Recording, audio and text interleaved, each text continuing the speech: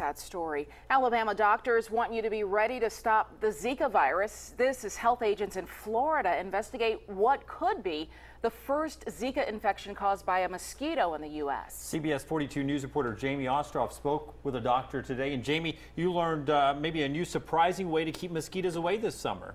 Yeah, and from the glaringly obvious to the not so obvious methods, keeping mosquito bites to a minimum is actually pretty simple.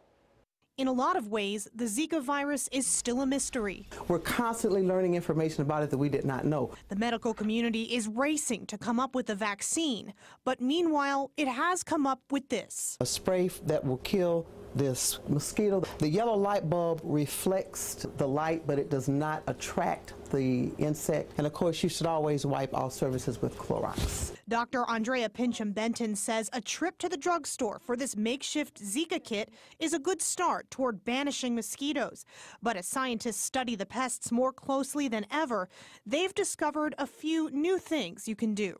If you spray your clothes 24 hours before you're going to go outside, that seems to be much more effective than spraying your skin. After you're jogging, uh, don't stay sweaty for hours afterwards. Try to shower as quickly as you can because that lactic acid is attracting the mosquitoes. Though this last one, you might not like.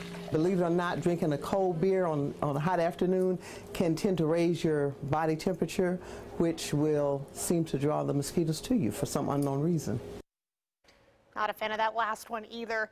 Dr. Pincham Benton also said people with type O blood are more likely to get bitten by a mosquito and folks with type A blood are less likely. Now, this doesn't mean you need to run out and get your blood typed or stay inside if you happen to be type O. The odds of contracting the Zika virus from a mosquito stateside are still very, very low. Jamie Ostroff, CBS 42 News.